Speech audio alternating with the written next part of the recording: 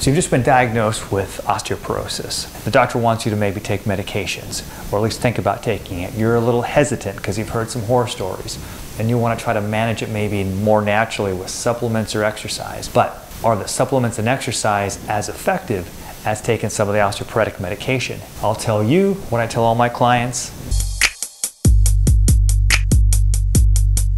Hey everyone, welcome to the front row. Ed DeBoo, physical therapist out of Bellingham, Washington at Integrative Physical Therapy.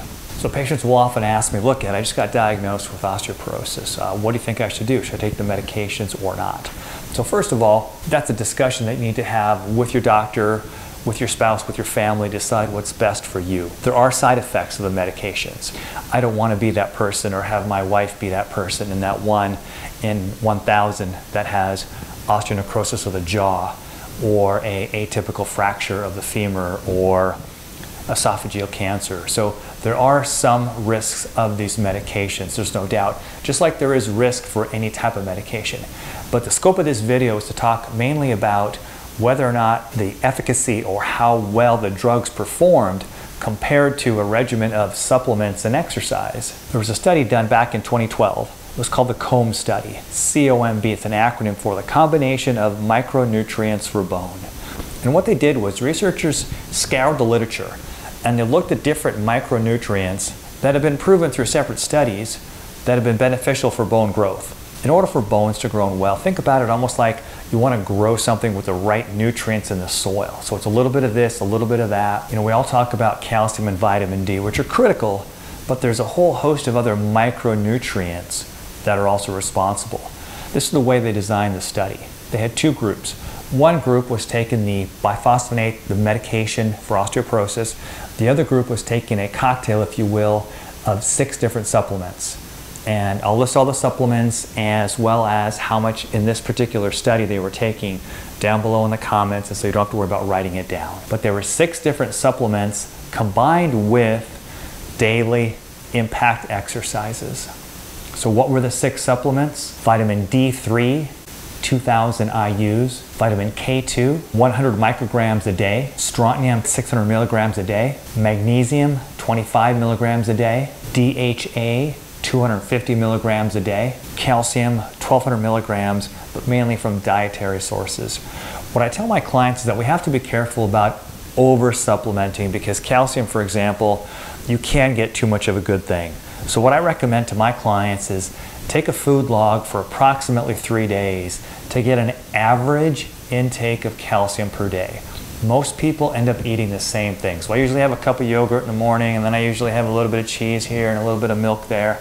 But either way, keep a log, measure it out, get an idea of how much calcium you're getting from your food. And then supplement as needed to get up to that 1200-ish range on a daily basis as well as daily impact exercises. In the clinic, I really stress to my clients, you want to lift as heavy as you can safely and for what you may have going on.